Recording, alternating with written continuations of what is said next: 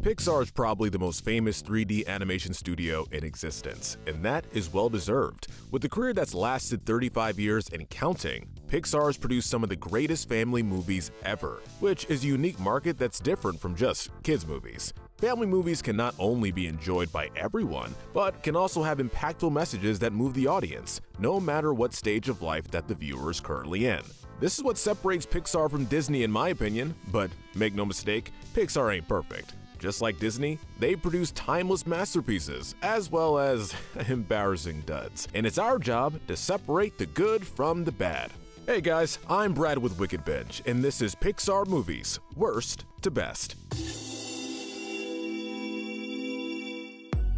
This is probably self-explanatory, but the criteria for a film to make the list is that it must be feature-length, released in theaters, and fully produced by Pixar Animation Studios. For this ranking, we'll be checking out the plot, the characters, the dialogue, how well the setting is used, and depending on when the movie came out, if it has stood the test of time or aged like milk. Also, this video will contain spoilers for every single Pixar movie currently released. With that out of the way, let's start off with the worst movie from Pixar. Normally, the slot for worst Pixar movies goes to one of three options, and for this list, we're gonna be predictable and place Cars 2 at number 24. Who thought it was a good idea to 1. make a sequel to the first Cars, 2. Turn that sequel into a spy thriller instead of a racing movie. And 3. Make Mater the main character. Because I can tell you right now, none of those ideas panned out well at all. The first Cars movie is undoubtedly the worst of Pixar's early days and did not set up for this kind of sequel.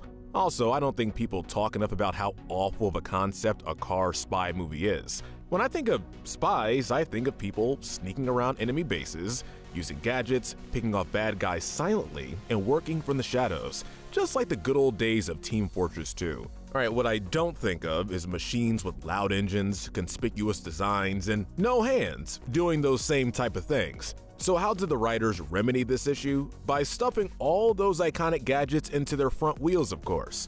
But this leads into another problem, one of the biggest sins a movie like this can commit, and that is not utilizing the world that you've built. We're going to be bringing up this point a lot, but creating a fantasy world that is so far removed from the one we know and then essentially treating it as if it was just normal everyday Earth is so boring. In fairness, I'm not really sure how much you can do with this concept anyway. It seems like all roads lead to the same place with this franchise, and that's not a car pun. The spy plot is so directionless and meandering that it's confusing to remember anything about it, let alone talk about it.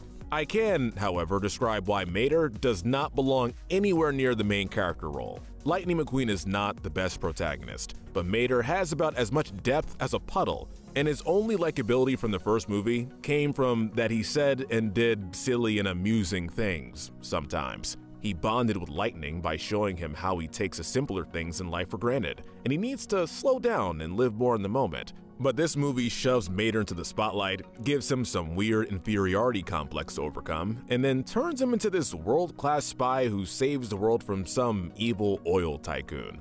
I'm sorry, but Larry the Cable Guy is not capable of having serious character dialogue. That's probably the most common set of criticisms for this movie. But while he is annoying, Mater isn't actually the worst Pixar protagonist. That honor goes to the main character of the number 23 spot, Brave. This film has a lot of issues, but Merida is undoubtedly the biggest one. She's selfish and does not take responsibility for all the trouble she causes, of her own volition by the way, which makes her unlikable and hard to relate to. There is a difference between a character taking an action that makes sense, but has unforeseen consequences that cause conflict later in the story, and a character making an obviously bad decision so that a plot can happen. And Brave's story does the latter. Eleanor is visibly sick after eating the cake Merida gave her, and Merida takes no issue with the fact that she may have just poisoned her mother, and continues to blame her for the spell going wrong until the end of the movie. None of the side characters are entertaining, all attempts at humor fail, and no offense to Scotland,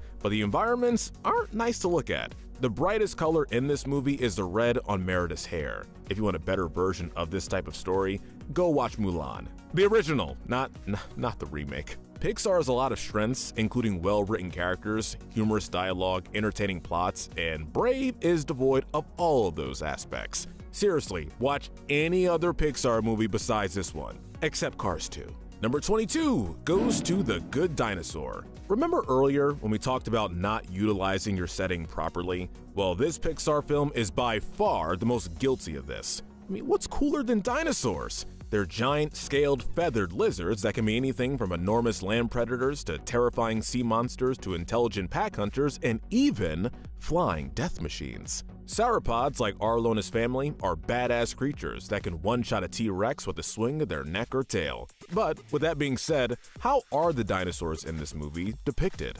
Well, they may as well just be humans in the old American West. They farm crops just like humans, they herd cattle just like humans, they steal cattle just like humans, and the actual humans in this movie are the equivalent of wild dogs. That's all this movie is an Old West story about a farm boy and a wild dog. You could remove the prehistoric dinosaur factor and lose almost nothing, I guess with the exception being the pterodactyls wanting to hunt and eat Spot. But while I think this is a major problem that taints the film, some people may consider that a surface level criticism. So let's talk about what actually happens in the plot. The conflict starts when a seemingly wise and sensible character, Henry, kinda does something stupid, taking his son Arlo, who's afraid of everything, to track down and kill a critter through rough, rocky terrain next to a river in the middle of a storm. A farmer who has lived next to a river that long should know that it will flood when it storms, and the rocks will become slippery, and the ground will turn to mud. But he only stops the hunt and decides to turn back after Arlo gets injured, and it's already too late. Of course, the river floods, and Henry dies as a result of his actions, which I suppose is sad, but this is no Mufasa we're talking about. This one scene really bugs me, and while it's not very long, it's the inciting incident for the rest of the plot to happen, and it's built on a really bad and out of character decision. As I said earlier, the film makes no attempts to do anything with its prehistoric setting, so the film quickly devolves into a generic Old West story about a young boy learning to overcome his fear of the entire world.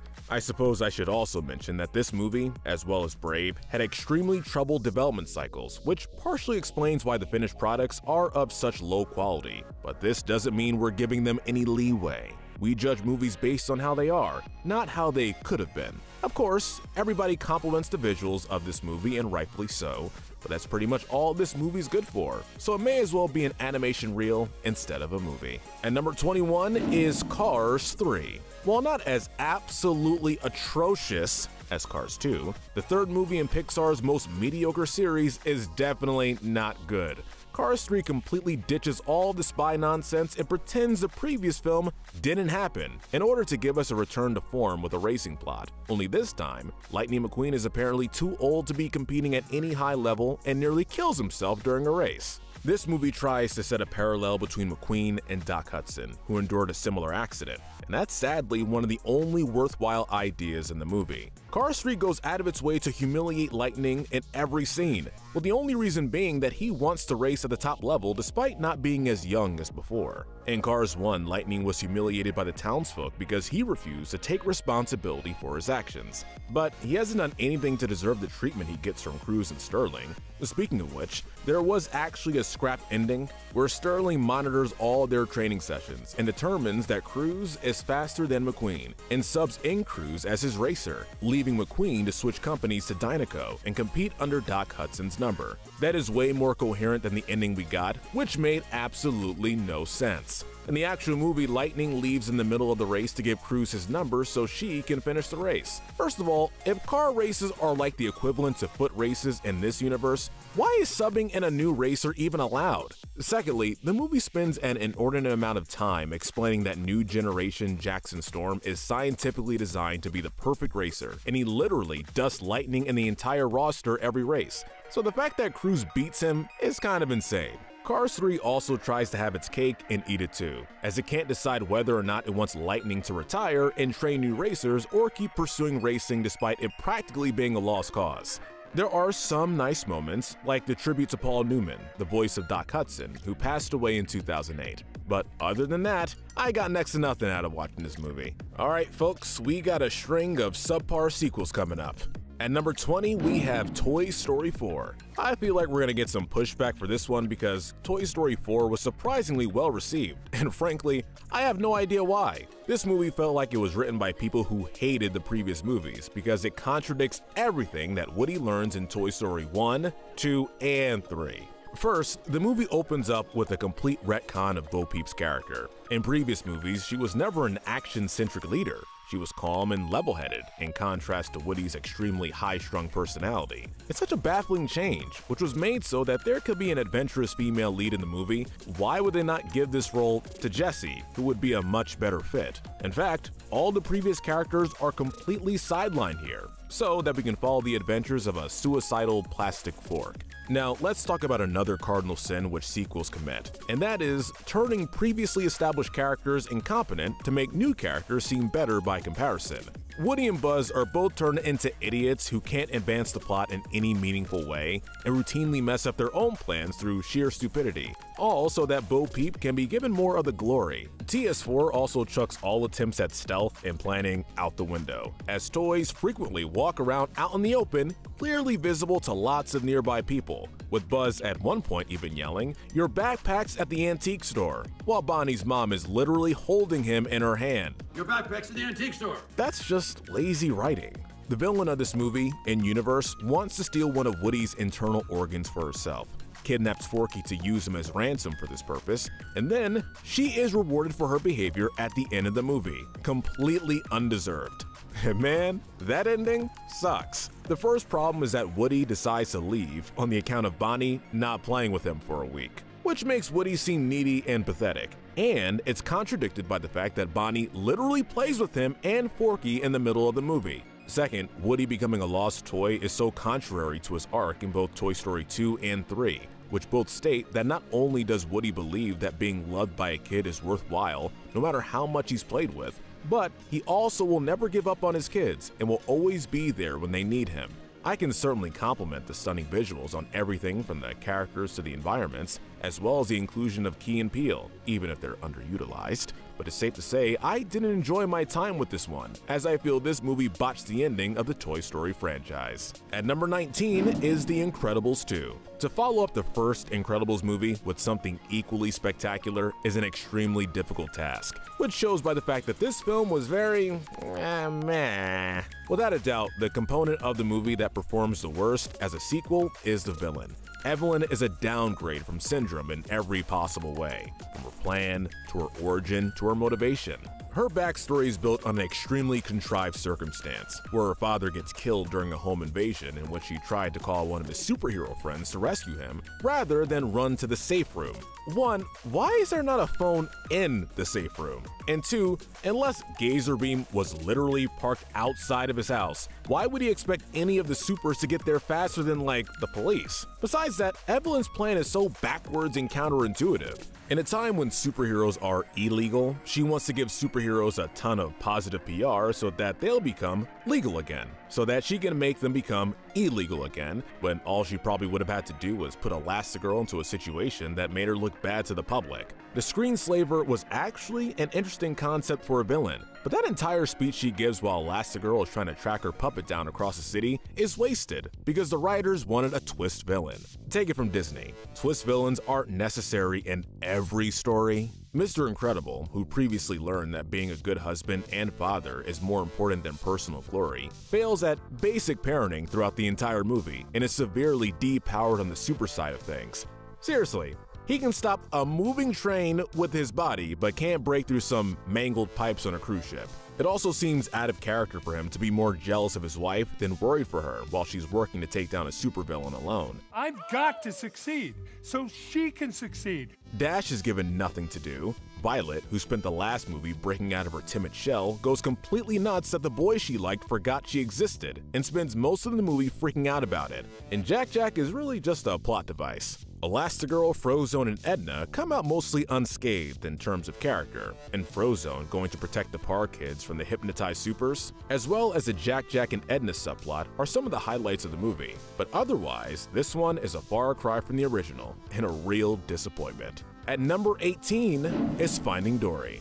You'll notice a pattern with all these disappointing sequels is that none of them really needed to be made. While I do think Dory's past had some potential for an interesting story, like the previous entries, this one is simply a downgrade from the original. With Finding Nemo, you have the entire ocean as your setting. Finding Dory limits that area to one aquarium for most of the film, and everything feels very confined. Granted, one would expect to see a lot of different types of sea creatures in an aquarium, but the ones we see aren't nearly as interesting as the other characters introduced in the last movie, with the exception of Hank the Septopus, who actually has a fulfilling arc. In Finding Nemo, Marlin learns to trust Dory's judgment in spite of her memory issues, because she is very intelligent and empathetic, while he is extremely anxious and impatient. In this one, Dory makes an extremely unwise decision that causes Marlin to forget what he learned in the past movie and drive her away with an angry comment, leading to Dory's capture and the subsequent plot to rescue her. Once again, it's similar to the last movie, except that it's forced and out of character. It's also stupidly convenient that Dory's memories of her parents are triggered because she hears people say relatively common phrases like, there's no other way, as if she's never heard someone say that before. And this happens over and over again to advance the plot. Overall, this movie isn't terrible. As I mentioned earlier, Hank is a standout character who has some development, acts as a good foil for Dory, and has some funny moments. And Dory's reunion with her parents is also very sweet. Nemo and Marlin, however, have a much more contrived and less interesting B plot, in which Marlin learns the exact same things he learned the last time around. And that stupid truck scene at the end took a lot of people completely out of the movie because of how ridiculous it was. Remember how the climax of the last movie was extremely relevant to the characters being fish?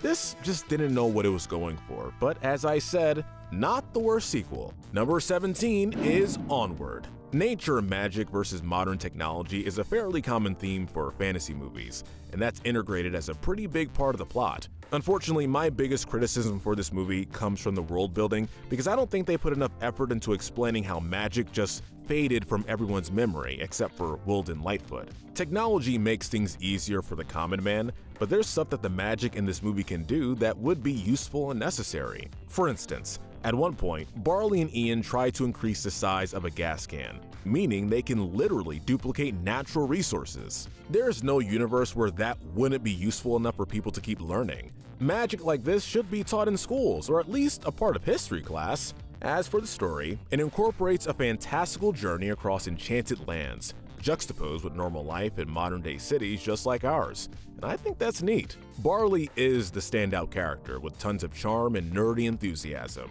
while Ian is relatable, but kinda flat. And I was honestly surprised at how much personality they were able to give a severed pair of legs. The bond between Ian and Barley is sweet, and they sell it really well, but I don't feel like the final payoff showing Barley being Ian's father figure instead of their dad was built up really at all throughout the film. Alright, this is also minor, but I can't watch this movie without thinking that Star-Lord is talking to Spider-Man about magic spells. I'd say Chris Pratt was miscast for the role of Barley, even if he gave a good performance, all things considered. Unfortunately, the impression I got after watching this movie was that it was unimpressive. Just didn't really hit any of the writing or emotional high points that we've come to expect from Pixar. Onward is an average movie that's worth a watch, but probably just one. And number 16 is the only Cars movie that doesn't suck Cars. Don't confuse that intro with us saying that Cars is terrific because it ain't, man. In fact, a lot of people remember this one as the film that broke Pixar's perfect record because of all the amazing films that came before and after it. There aren't a lot of good standout writing moments for most of the film, all I can really point to is the back and forth between Lightning and Doc Hudson, and Lightning's whole character arc is pretty good too. The story of Radiator Springs, once a bustling and thriving hotspot being turned into essentially a desolate ghost town, is actually sad, even if the characters aren't particularly interesting. The ending scene where Lightning gives up first place to help the king cross the finish line is also great. Other than that, this movie has a generic plot with very stock characters. Alright, I wanted to wait until this point to make this criticism, which is that the Cars movies feel like they were exclusively made for selling toys. It's clear that is where the money is for this franchise, and it really seems like they put more time and effort into merchandise than they put into making their movies good. This is the movie where cars feel the most like cars, but as I said earlier, there isn't much that can come out of this concept without practically turning the cars into humans for more story potential. The first Cars is passable, but I don't think hating it is unreasonable, given the fact that it kickstarted Pixar's worst franchise to date. Alright, good news guys. We got out of the bad movies, that was tough. Alright, Let's talk about some good ones. Number 15, Monsters University. I don't know if overhated or underrated is the proper term to describe this film, but a lot of the time, this one ranks near the bottom of most people's Pixar list. I can understand complaints about the pacing and how generic and uninteresting the entire college scare games plotline is, but there is legitimately some solid character work to be found in this film. Mike's backstory as an enthusiastic fan of scares was really cool. The rivalry between the very studious and hardworking Mike and the naturally talented Sully was also fun, and it built up a solid conflict that eventually blossomed into a reluctant partnership, despite the huge egos of both characters. Unfortunately, I can't say the same for the other characters of Oozma Kappa, or the ones in Roar Omega Roar, as they're pretty bland and forgettable. But where this movie really shines is in the third act, when Mike enters the human world in an attempt to prove that he can be a scarer, causing Sully to chase after him. Their conversation out by the lake, followed by the biggest scare ever pulled, are two of the greatest moments in any Pixar movie for sheer character depth. It's just kind of a shame that the rest of the movie doesn't come anywhere close to the heights of those scenes. If they could have made the other characters a bit more interesting, this would have been more than a mid-tier film. But not everything works out that way, unfortunately. At number 14 is Pixar's newest release, Luca. Luca deviates from most Pixar movies in that the setup and plot are very simple. Two sea creature boys from different walks of life can transform into humans on land. They meet each other and they decide their dream is to ride a Vespa. So they enter a competition with a local girl to win one, while having to hide their true identity. There isn't a lot to screw up in a story like this, and I appreciate the simplicity. The transformation aspect is easy enough to understand, as long as the boys don't get wet, they look like normal humans. Sometimes the movie likes to play fast and loose with the rules, such as when Alberto is running through the rain with an umbrella, even though his bare feet should still be getting wet from the ground and turning the fins before he even reaches Luca. Also, what happens when they drink water? Do their lungs turn to gills and they suffocate? Whatever, just weird questions I have. There is a really nice dynamic between Luca and Alberto, as well as between Giulia and the two boys later on. Giulia's dad Massimo is a really interesting character that I wish we got to see more of, and I really like his rapport with Alberto in particular. The villain Ercole is mostly a standard playground bully, although I was surprised at some points when it seemed like he was genuinely willing to kill our protagonist, sea monsters or not. The side plot with Luca's parents is pretty dumb, considering that they were willing to expose his identity as a sea monster in order to find him, which is dangerous given that the town doesn't even know if they're real yet, and confirming their existence is just going to lead to more people hunting them. It is refreshing to have a simple, slightly more grounded story this time around. But that also means that Luca doesn't have as many opportunities to reach the highs of the other Pixar films. Number 13 is going to Inside Out. I'm conflicted with this one because I genuinely believe it's overrated, but it also has some very well placed emotional moments, and once again, that's not a pun. Joy has a good arc, but damn did I find her to be annoyingly controlling for a good part of the movie. I get that the point of the film was for her to learn the value of sadness as a way of empathizing with others and expressing negative emotions in a healthy way, so I won't knock that part of the movie too hard. Bing Bong, while not really that interesting of a character, did have an admittedly sad death, and it's one of the better self sacrifice scenes in Pixar's lineup.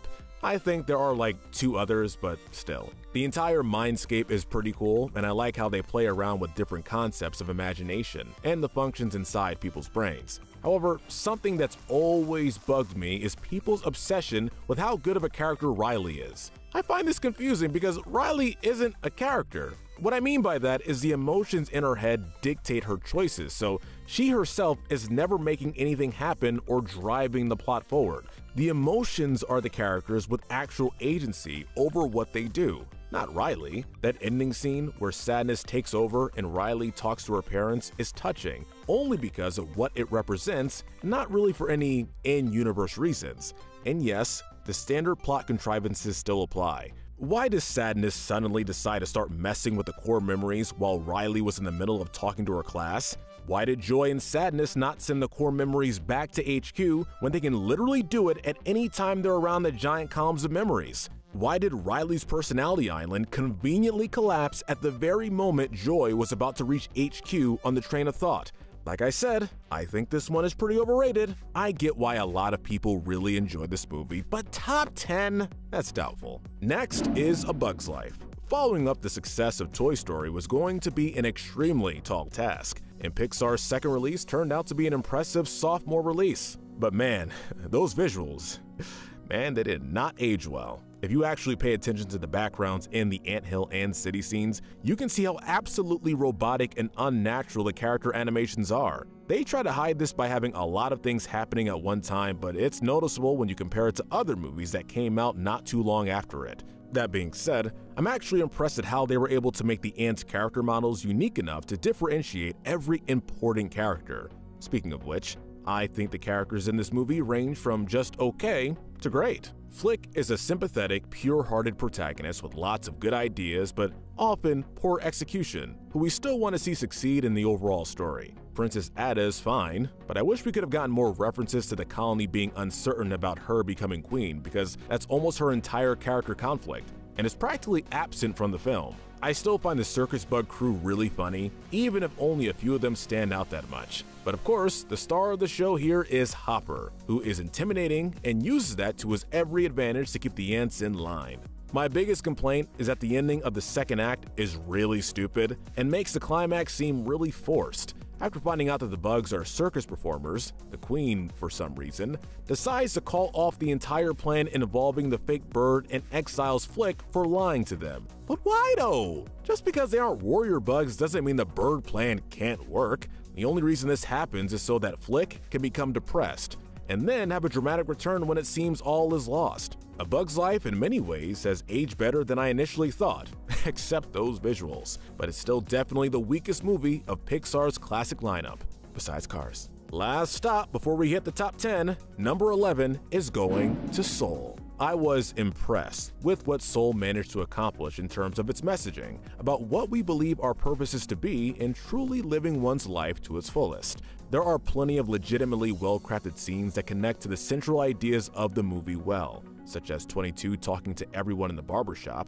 22 and Joy talking to his mother, or Dorothy's final words to Joe. There's also the time Joe plays the piano, or the other time Joe plays the piano, or the other other time Joe plays the piano. You get the point. It's a very dialogue and piano-centric film. The soundtrack to this movie is really unique, but I honestly ended up enjoying the atmospheric electronic music of the Soul Dimension more than the jazzy parts. In terms of lead duos, I think Joe and 22 have a great dynamic that is probably up there in that ranking, probably above Joy and Sadness, but not quite as high as a pairing like Buzz and Woody. Unfortunately, the plot doesn't hold up as well as it should. For starters, Joe's body comes back from the dead, with 22 essentially reanimating it, but she's not suffering from broken bones or head trauma or any pain at all, which is weird since Joe recently died. Secondly, the way that the writers facilitate certain scenes is sometimes really contrived, such as Joe messing up cutting his own hair so that we can have the barbershop scene, even though his hair is always covered by a hat and he doesn't need to cut it. I mean, his soul wears a hat. All I'm saying is that none of this would have happened if souls could taste pizza,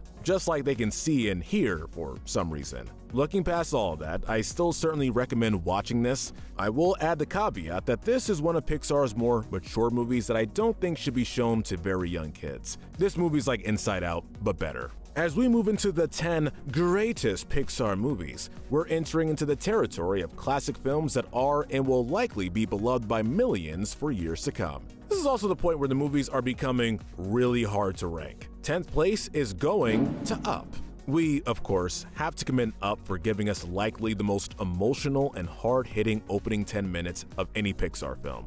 There is a drop in the film's overall quality after that, but how big of a drop is really the question. Personally, I find the rest of the film to be very entertaining, and the emotional moments between Carl and Russell are some of Pixar's best, like the scene where Russell talks about not knowing any camping stuff because he doesn't see his dad very often. But I agree that there is a bit of a disconnect between the extremely heartfelt, down to earth opening and the subsequent goofy adventures of an old man and a Boy Scout carrying a floating house with a giant rainbow bird following them and being chased by talking dogs piloting airplanes. Side note, the fact that the storm carries Carl's house to a completely different continent in such a short amount of time is one of the most contrived things in a Pixar movie. Doug is one of people's favorite aspects of this movie, and I certainly think he's funny and endearing, but he isn't the world's best sidekick or anything like that in terms of his character depth. My name is Doug. That being said, the core cast is still solid all around, and Doug is a part of that. I also really didn't care for the whole malfunctioning voice module thing going on with Alpha.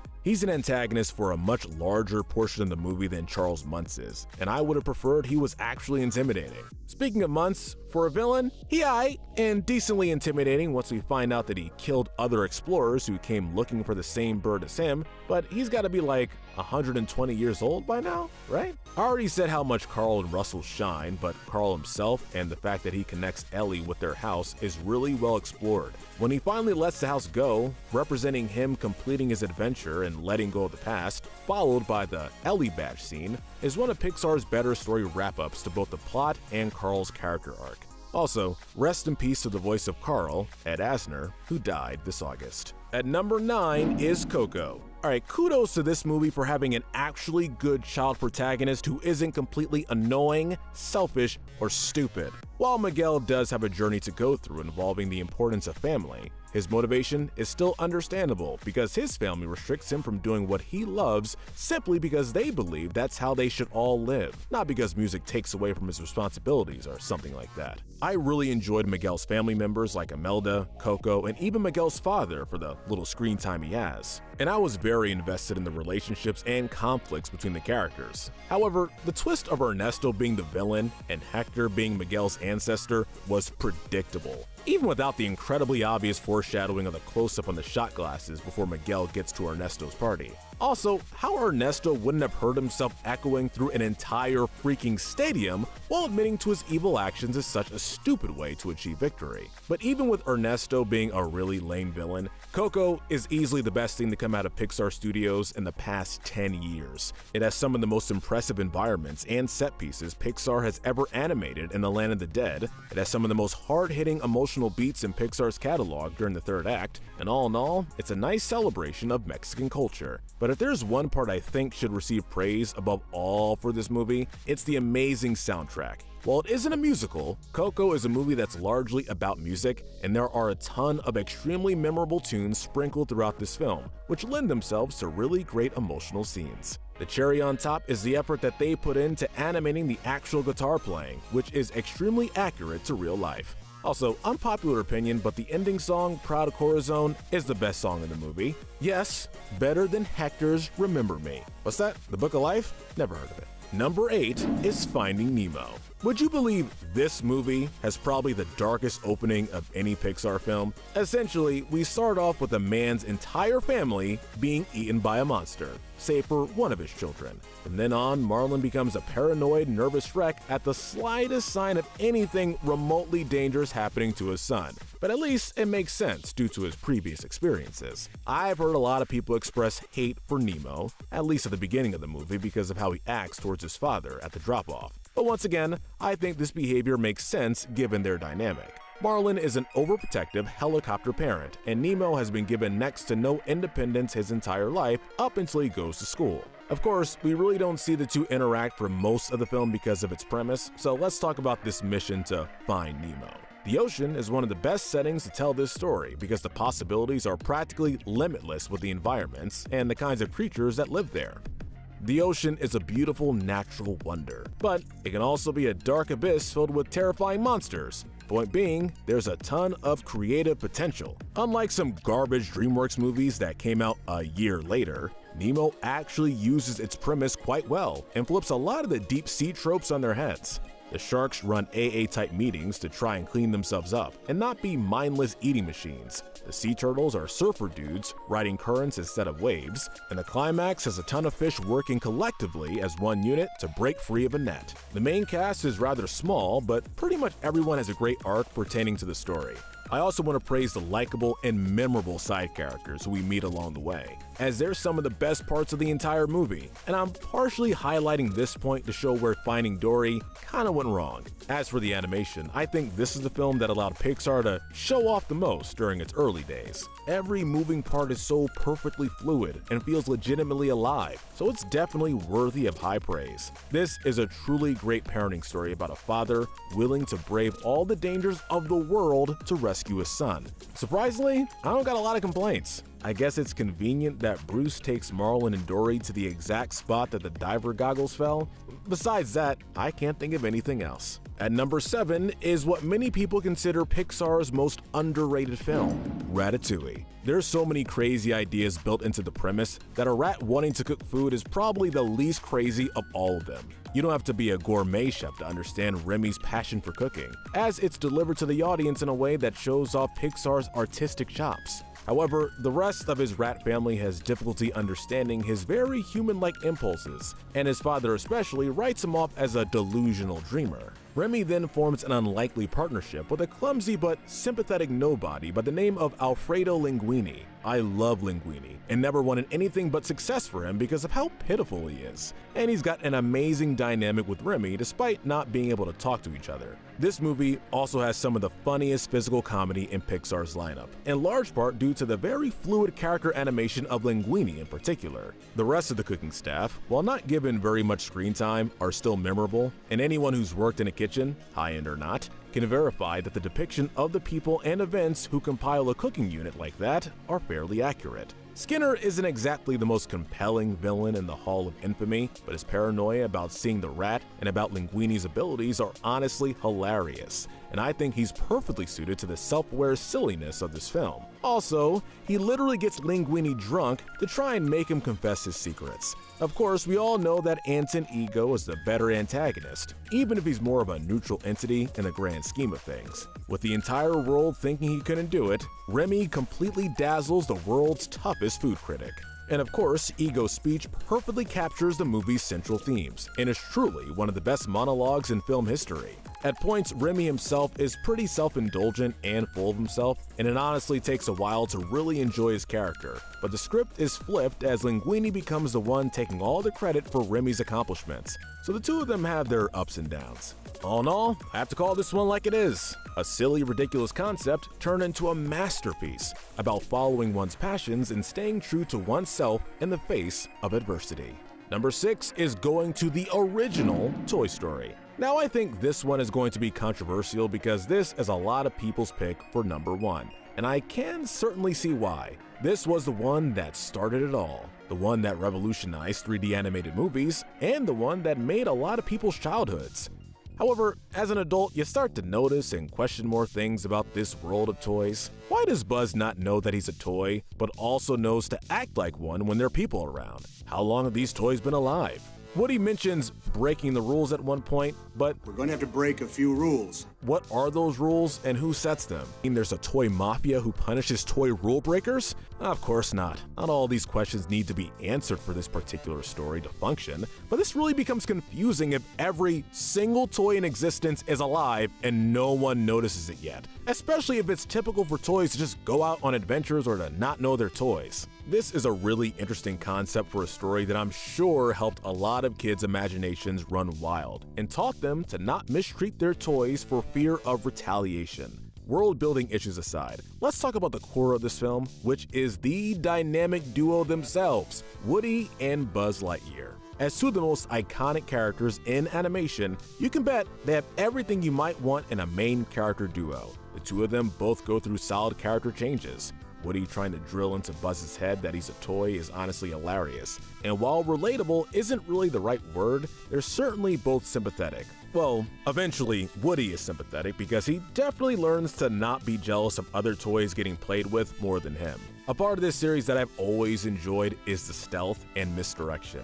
Obviously, they can't let the secret out, so the toys have to spend most of their time sneaking around and remaining inconspicuous when people are around. They at least had the benefit of kids not being very observant, and while it's far from perfect, I think this movie put decent enough effort into showing how toys slip by unseen most of the time, you know, up until the ending. Speaking of which, Sid probably suffers the worst fate of any Toy Story antagonist, essentially being traumatized for life. and I don't think he deserved it, since there was no way for him to know that the toys are alive. Side note, looking back at this character animation, especially for the human characters, it's aged pretty poorly. But hey, for a first of its kind film, it's remarkable. This is one I think everyone should watch, if only to see the inception of 3D animated feature films. We certainly owe a lot to Toy Story. On to the top 5. In fifth place is Toy Story 2. A really cool opening scene that is permanently ingrained in my memory starts off this new adventure as we see how Buzz Lightyear probably viewed himself in the first film. We also see the remarkable upgrade in the animation of the characters and environments from Toy Story 1. Truly, some of the strongest character work in the franchise is given to us by this movie, as Buzz and Woody grapple over what they both taught each other from the previous adventure. Woody also must decide between staying around for Andy's fading childhood or being immortalized and adored by children from behind a glass case for years to come. Jesse's sequence with remembering Emily is also heartbreaking and makes a convincing argument for Woody to leave Andy behind.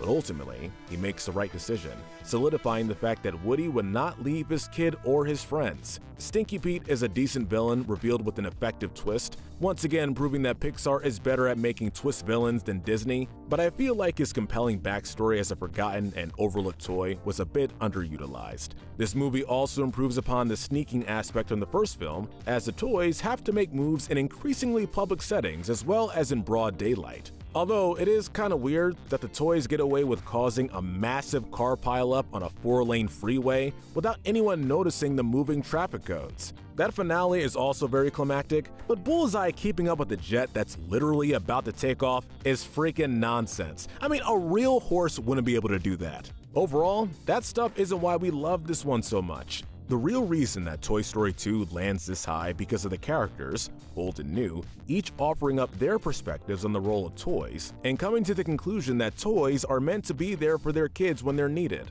This is an improvement in pretty much every way on the already fantastic original film. I would also recommend looking into this film's extremely troubled development history, as it's a really interesting story and also goes to show just how important this movie is to Pixar, because it pretty much saved the studio from being canned by Disney. Number 4 is Monsters Inc. Once again, this is a film that makes excellent use of its world and its concept with an extremely creative spin on the idea of the monster in your closet. This also becomes hilarious when you realize that Monster is just working his 9 to 5 and is trying to get this whole thing over with so he can just go on his lunch break. Speaking of which, there's one thing that elevates Monsters Inc. to this position it's the comedy. In my mind, this is undoubtedly the funniest Pixar movie, with Billy Crystal giving a great performance and delivering some of the best one liners that will make both kids and adults laugh. This may be a bold declaration, but I'm gonna go out on a limb and say that Mike and Sully are the best Pixar duo. Yeah, better than Buzz and Woody. This is because there really is no straight man between the two of them, and they're pretty much on the same level. While Sully could be considered the more serious one, Mike is just as smart and often has more common sense. This makes it that much more believable that Mike becomes enraged at Sully for not listening to him when the two get banished. The animation is extremely ambitious and impressive for the time. Although not everything has aged the best, particularly when the duo gets banished to the Himalayas, which looks very much like a PlayStation 2 cutscene. Also, does the company of Monsters Inc. just rule the world or something? I don't know if I'd ever want to work for a company that is legally allowed to throw me into a different realm if I screw up. Mr. Waternoose is a pretty good twist villain, whose motivation goes beyond simply greed or power, as he seems to actually care about his company in dealing with the energy crisis. However, I've always found Randall to be the more intimidating of the two, and a better challenge for our heroes to have to deal with. That chase scene through the door storage facility is thrilling and brilliantly animated, but something that's always bothered me is that there looks to be literally millions of doors all activated at the same time and not one of them gets open from the human world during that entire scene? Also, why has Disney World not created a Monsters Inc. Door Factory roller coaster yet? Overall, this one is an absolute gem and a stroke of genius in everything from the concept to the characters to the casting. Truly, an all time classic. The third greatest Pixar movie of all time is Toy Story 3. I've heard the criticism that Toy Story 3 hits a lot of the same story beats as the second movie, and I can certainly see the similarities. But even with those present, I think Toy Story 3 holds up as a superior film because it hits those beats even better, just as Toy Story 2 was an absolute improvement over the first. The stealth in this series is at its absolute highest level during the escape from Sunnyside jailbreak scene. A suspenseful and smart take on that trope well implemented into the Toy Story universe, with each character making use of their individual skill sets to escape. Lotso is a star player, his nice, warm, plush exterior makes for a great twist once it's revealed that he's a cruel, heartless dictator inside all that stuffing. The way he abandons the other toys, even after they saved his life, shows his commitment to his selfish ways that led him down the dark path in the first place. He single-handedly elevates this movie to an even higher spot, but Toy Story 3 is near perfect even without him being the franchise's best villain because of all of its other aspects. Woody's journey in this movie is so enthralling and comes full circle with the previous two installments when he finally decides that his purpose with Andy has been fulfilled, and he switches attention to making sure his fellow toys get the ending that they deserve. Words cannot describe how good that final scene is with Andy, giving his toys to Bonnie and playing with them one last time. We couldn't have imagined a better emotional note to close with, and it delivers a perfect ending to the Toy Story series. Yep, a perfect ending because nothing else happened to the toys after this movie. or at least I wish that's how it was. The race for the top spot was one of the toughest decisions we've ever had to make in our lives. But at number two is WALL-E. This movie has one of the more depressing openings, and I don't mean sad like up, I mean depressing, like seeing the Earth become a desolate wasteland ravaged by pollution. But in that depressing wasteland lies the Earth's sole glimmer of hope a curious little robot named WALL-E, who's fascinated by almost everything he finds, even the simplest piece of junk that we wouldn't give a second thought to. He's in for a rude awakening though, when a massive spaceship makes its descent right outside WALL-E's house and reveals a much newer looking robot seemingly bent on exterminating him. Kind of weird that Eve shoots everything that moves while looking for signs of life on Earth, but hey, maybe BNL were concerned about aliens or something. Despite all the plasma shots fired in his direction, WALL-E is still intrigued by her and strikes up a rapport after dodging some more blast. One of the greatest things this movie accomplishes is giving so much personality and spirit to these robots and making you see them as more human than the actual humans.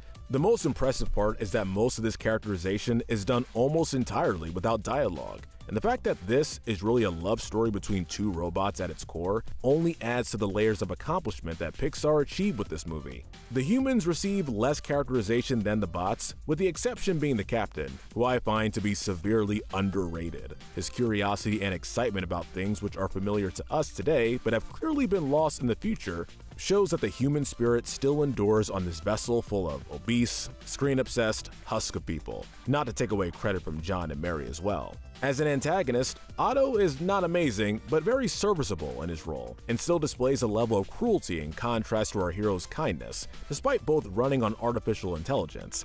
Gotta say, it's pretty much impossible not to love WALL-E as an absolutely pure-hearted character with no ill intent whatsoever. Also, kudos to Pixar for adding an environmental message to the movie without having it to be preachy or obnoxious. We can go on forever about specific scenes, like WALL-E and Eve flying through space together, or Eve reviving WALL-E after he's nearly crushed, but it's all still in service of the same point that WALL-E is truly a masterpiece of visual storytelling. You can make a strong case for WALL-E to take the top spot, but I think there's one film that's just a smidge better. And finally, number one, the title of the best Pixar movie of all time goes to The Incredibles. Man, what a film!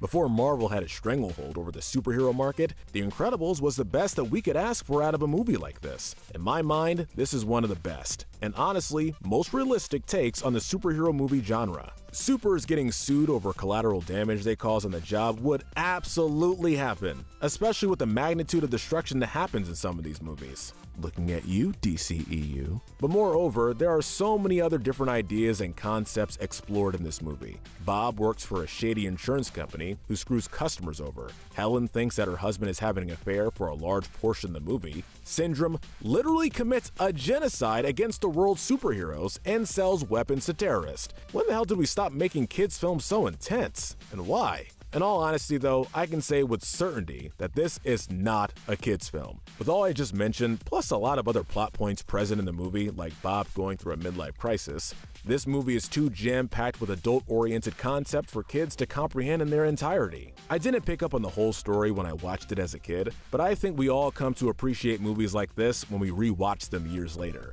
It's difficult to find flaws in this film's writing. I guess if I could point to one, I'd say it's pretty crazy that Mr. Incredible winds up finding Gazerbeam's body, as well as Syndrome's computer password, by complete accident because Syndrome accidentally flung him in the general direction of it. Other than that, I really don't have anything to complain about, and this is just the plot. Every single character has a unique personality and journey of growth, which makes them so compelling, especially Bob though Helen, Dash, and Violet deserve a lot of credit as well. As for Frozone, there's no other word to describe him but iconic, with all of his memorable dialogue. And we can say the exact same thing about Edna Mode. We cannot discuss this film without mentioning Syndrome, Pixar's greatest and most evil villain of all time. He's got the intimidation factor and malice that we look for in a bad guy.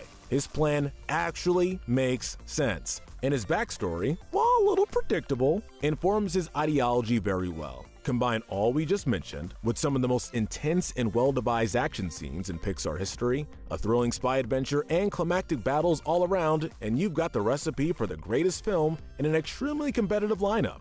For lack of a better descriptor, this film is absolutely incredible and worthy of the top spot on our list. And that, my friends, is a monster of a ranking. What do you think, guys? Did we keep a film too far down or did we hold one too high? Whatever opinions we may have, at least we can all agree that Pixar is capable of, and hopefully will, continue to make masterpieces for years to come. Make sure to hit that notification bell, and most importantly, stay wicked.